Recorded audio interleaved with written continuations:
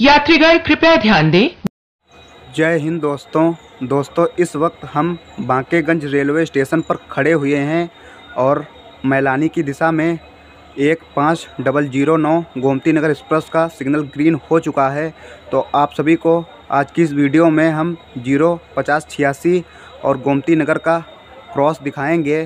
तो आप लोग वीडियो को अंत तक ज़रूर देखिएगा दोस्तों।